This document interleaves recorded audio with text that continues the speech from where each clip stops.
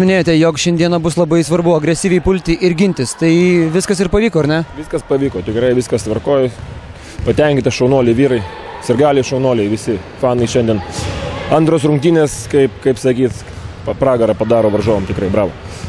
Po tos tokios, sakykime, sunkios šių metų pradžios, kuomet tas nelemtas pralaimėjimas šiliams nutiko, dabar komanda žaidžia antras puikias rungtynės. Kas lėmė tą tokį renesansą jūsų komandos žaidime?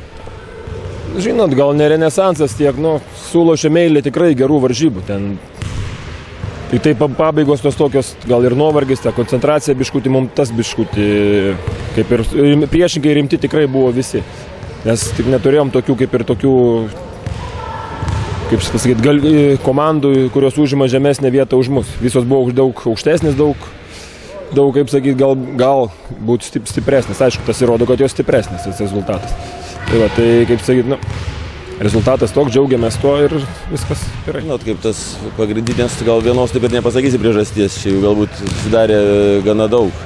Na vienas dalykas, jeigu atvirai, tai nuo to laiko, kas blogiausia, pirmas dalykas, kur ateina tokios galbūt labai svarbios rungtynės, tai kada, na, nuo to laiko, kai mes pradėjom dirbti, čia prie jau du mėnesiai praėjo, tai šiai dienai, kai pradėjom žaisti, tai neturim viso startinio penketo. Dar buvo Ryanas Olanderis, kuris apsirgo gavosi absoliučiai visai nauja komanda šiai dienai, kuri žaidžia iš tikrųjų. Tai galima sakyti, mes esame eksperimentų keli. Na, iš tikrųjų, tai vienas dalykas daug jaunimo yra, tai džiugu, iš tikrųjų, jie stengiasi, negaliu nieko sakyti, bet... O kitas dalykas, na, kai dar du nauji žaidėjai pasijungė, kurie dar irgi dar neįėjo pilną tokį ritmą žaidybinį ir treniruočių ir panašiai, da, kas liečia neliubo, tai vis ten turėjo dvi treniruotės, tik tai kur nėra supratimo bendro su komanda.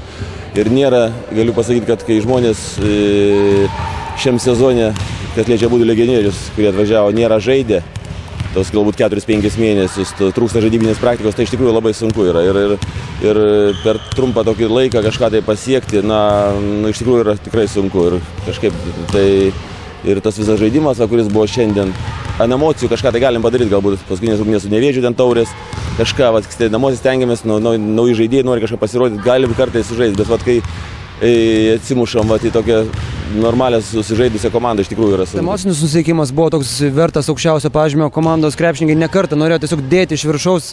Irgi patenkintas šiuo aspektu esate? Viskas tai viskas prasideda nuo gynybos, agresyviai gynyba iš karto nusiteikimas tokiam polimui, viskas, viskas nuo to ir prasideda. Nusiteikimas ir pilna koncentracija visas rungtynės, nes turėjom labai, kaip žinai, košmariškas varžybas su šiauliais, tai reikėjo reabilituotis prieš savo ir galius.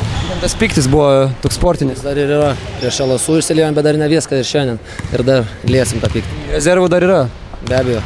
Pats už vakar sužaidai puikias rungtynės su LSU atlėtu, šiandien taip pat septyni taškai neblogas pasirodymas, kaip tu pats vertini. Visada, aišku, galiu geriau, visada spaudžiu iš savęs maksimą ir visada galiu geriau. Šiandien žaidė visa komanda labai gerai. Tai tie taškai, žinai, čia yra svarbu komandos pergalė. Kalbant apie tą visą rungtynių maratoną, daugybė traumų šį sezoną kamuoja jūsų komanda. Ar komandai reikia pertraukos, ar kaip tik daugiau tos žaidybinės praktikos, kalbant ir apie tos naujokus, koks būtų tas vaistas?